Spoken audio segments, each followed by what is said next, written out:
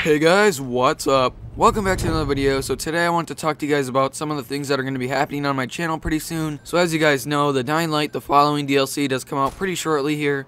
So I plan to be playing that and hopefully making a series on it from the campaign and whatever else they have. And if I find any glitches, I'll also upload those too. That's one thing that I'm for sure going to be doing. Another thing that I want to do, but I, am not sure if it's going to happen or not, is a Far Cry Primal Let's Play thing, just to beat the campaign or whatever. Maybe not the whole campaign, but hopefully part of it, because Far Cry 4's campaign was long, long, long, long, long. So if it's hopefully a little bit shorter, then I'll hopefully do that.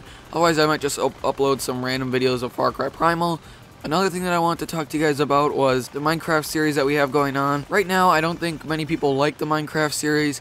So what I'm going to do is I'm going to stop the Let's Play series for now. And I'm going to work on the Let's Build series.